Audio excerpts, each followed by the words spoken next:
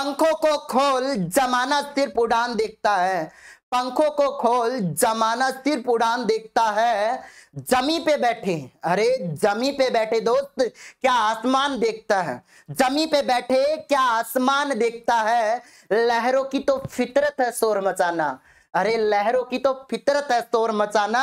मंजिल उसी को मिलती है दोस्त, जो नज़रों में तूफ़ान देखता है। तो ये जो तूफ़ान है मेरे प्यारे बच्चों, मेरे सारे जीएस प्लेनेट के क्रांतिकारियों, आपको देखना है आपके माँ बाप के सपनों के लिए। क्योंकि काफ़ी लोग इतना कंफ्यूज कर रखे हैं कि सर एग्ज़ाम पोस्टपोन होगा या नहीं होगा।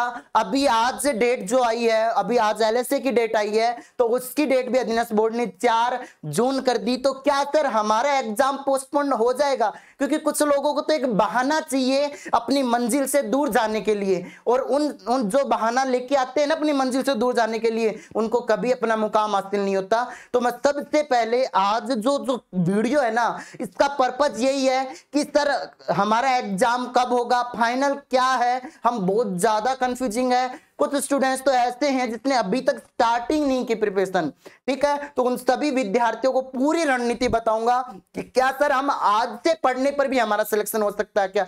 बिल्कुल हो सकता है। तो मैं दिनेश कुमार आप स्वागत करता हूँ सभी प्यारे बच्चों का जीएस प्लेनेट के ऑफिशियल यूट्यूब चैनल पे। आज आप फ़र्स्ट टाइम हमारे चैनल से जुड़े हो तो दोस्तों इस वीडियो को शेयर कर दो।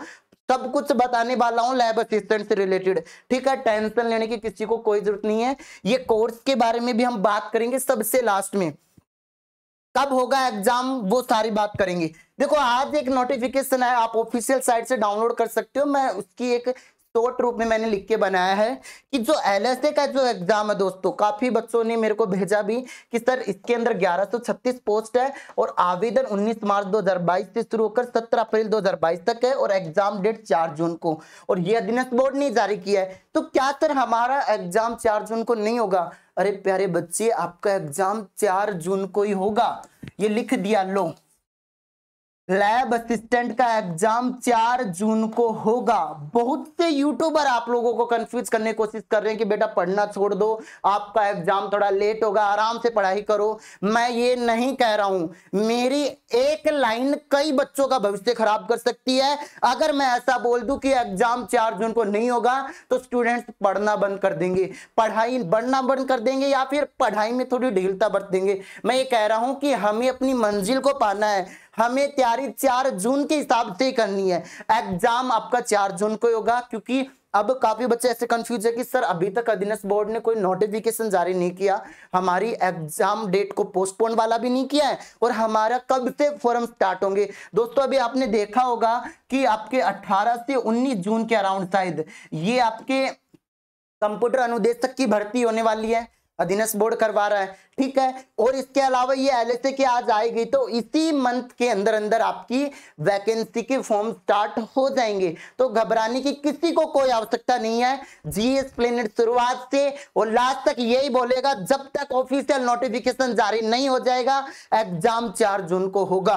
तो आप लोगों को बिल्कुल भी ऐसे घबराने की ज़रूरत नहीं है। हमें तैयारी चार जून के हिसाब से करनी है। तो सर, अब कैसे तैयारी होगी चार जून के हिसाब से? जो स्टूडेंट्स अभी भी जीएस प्लेनेट से नहीं जुड़ा है उनके लिए मैं बता दूँ देखो मैं ये नहीं कह रहा कि आप कोर्स लो, मैं कभी नहीं कहूँगा कि आपको कोर्स लो। आप अगर स्टूडेंट्स पहले से भी प्रिपेयर कर रहे हो, कहीं से भी कर रहे हो, उनके लिए भी रणनीति में बताने वाला हूँ। अभी पूरी वीडियो को एंड तक ज़रूर देखते रहना, ये पूरी कारागार साबित होगी। तो कोर्स है ना, कोर्स आपका बिल्कुल भी कॉस्टली नहीं कर रखा। हमने ये जो गुरु दक्षिणा है केवल आठ सौ निन्यानवे कर रखी है, और ये गुरु दक्षिणा कब तक रहेगी? ये आपके होली तक रहेगी। मतलब ये लगभग हम रखेंगे अट्ठारह मार्च तक। 18 मार्च तक। तो जो स्टूडेंट्स गरीब हैं, जो कैसे भी मतलब किसी भी तरीके से एजुकेशनल फ़ीस नहीं दे सकते, वो ये कोर्स ले सकते हो। इसके बारे में हम सब कुछ बताएँगे। पहले मैं बताता हूँ रणनीति क्या रहने वाली है। देखो, तैयारी किस तरीके से करनी है? लास्ट अस्सी दिन रह गए। तो सबसे पहले, किसी भी एग्ज़ाम की प्रिपरेशन करने से पहले हमारे माइंड में दो चीज़ होती है। कि सर हम कैसे तैयारी करेंगे? जिसमें एक तो आती है थ्योरी अब थ्योरी शुरुआत हम बेसिक से, अब यहाँ पर दो तरह के स्टूडेंट्स हमें देखने को मिलेंगे, जो ऐसे स्टूडेंट्स भी हैं जो लास्ट सिक्स मंथ से प्रिपेयर कर रहे हैं। जी हाँ बिल्कुल सिक्स मंथ से प्रिपेयर कर रहे हैं। और कुछ ऐसे स्टूडेंट हैं जो अभी से शुरू करेंगे। सपोज़ करो, आज से ही शुरू करने वाले हैं। ठीक है, आज से ही क्या हो रहे हैं? एक्टिव हो रहे हैं। ठीक है? तो मैं उन दोनों तरह के स्टूडेंट्स को भाई जो जो पिछले लास्ट छह महीने से तैयारी कर रहे हैं ना दोस्तों, उनको तो बेनिफिट मिलेगा एग्ज़ाम के अंदर। लेकिन जो अभी से भी अगर अच्छे तरीके से, देखो क्या करना है? हमें ये मान के चलना है कि हमारा एग्ज़ाम चार जून को है।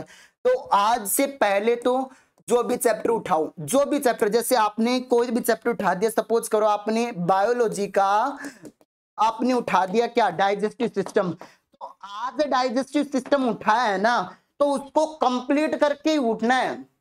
फिजिक्स में आपने उठा दिया फिजिक्स में आपने वेव वाला चैप्टर उठा दिया तो उसको जब तक मत उठना चाहिए बाहर भूकंप आ जाए, बाहर आंधिया चले, बाहर तूफ़ान आए, हमें नहीं उठना है। हमें जब तक ये चैप्टर कंप्लीट नहीं हो जाएगा, आपको पता है किस तरह हम कहाँ से करें। आपके पास आपके खुद के नोट्स अवेलेबल होंगे, नहीं होंगे तो हम खुद आपको करवा देंगे इस कोर्स के अंदर।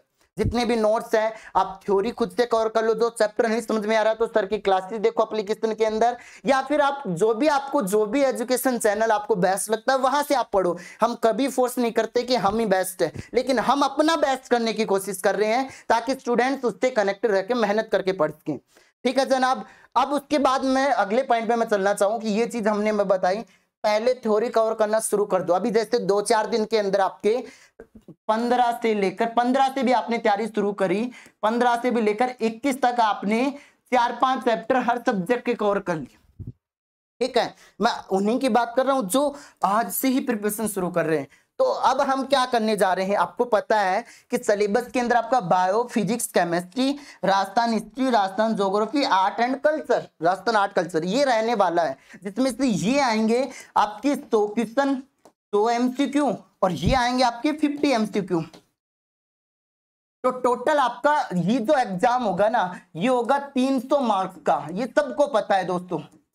300 मार्क्स का एग्ज़ाम होने वाला है एग्ज़ाम आपका होगा वो चार जून को है। माइक यही है ना एग्ज़ाम क्या है दोस्तों? चार जून को है। अब हम क्या कर रहे हैं? जीएस प्लेनेट टीम आपके लिए 21 मार्च से क्या एक नया सरप्राइज़ राजस्थान के इतिहास में आने वाला है। जी हाँ 21 मार्च को हम क्या करेंगे?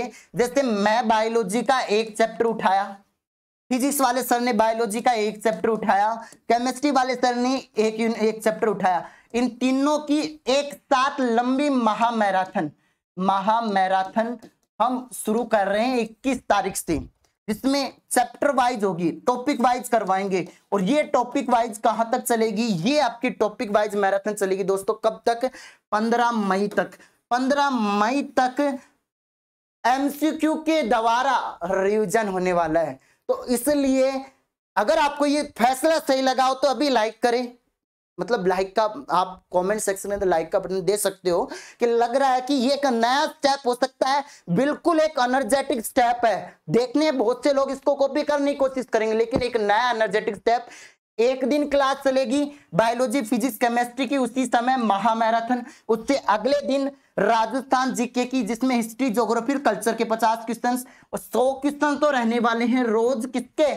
जिसमें से तीनों सब्जेक्ट चलेंगे देखेंगे किसका वेटेज वैसे होता है, उसी हिसाब से सौ क्वेश्चन का एक दिन होगा इनका, और पचास क्वेश्चन का ये। सेलेक्टिव क्वेश्चन से लेंगे दोस्तों। अगर सौ भी नहीं लेंगे तो हम डेढ़ सौ भी ले सकते हैं, कोई दिक्कत नहीं, वो देखेंगे इक्कीस मार्च से।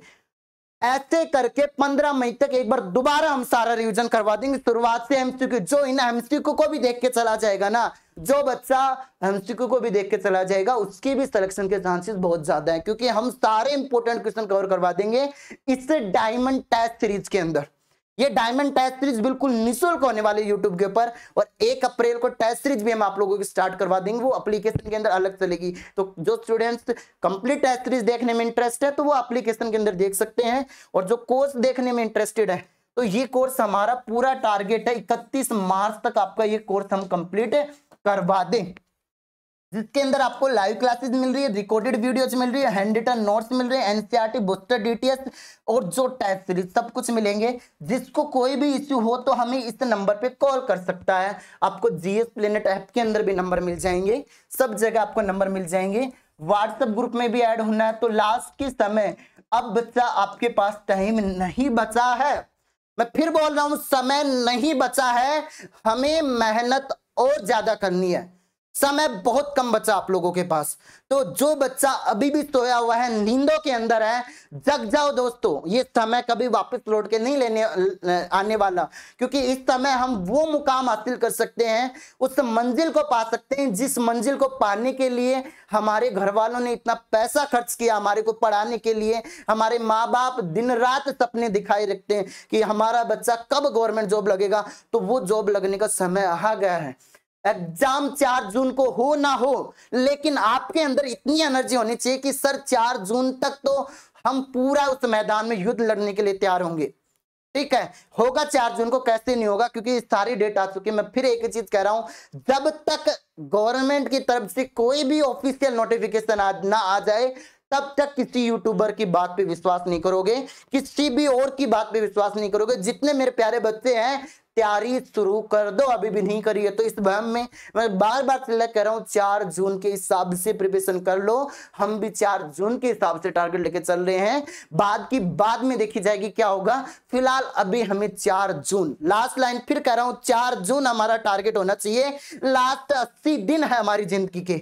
ठीक है? तो शेयर करना, जो बच्चा कोई भी डाउट है, कुछ भी कंफ्यूजन है, मुझसे बात करो। हमारे जिस टीचर से बात करना चाहते हैं, उनसे करो। जिससे आपको मोटिवेशन मिलता है, उनसे मोटिवेशन लेके बस अपनी पढ़ाई शुरू करो, मेहनत करो। आज के लिए इतना ही। शेयर करो दोस्तों, अपने सब दोस्तों तक इस चीज़ को पहुँचा दो। अपना स्टेटस लगाओ व्हाट्सअप तो आज के लिए इतना ही। जय Hind, tata bye bye love you to all my dear student जय हिंद।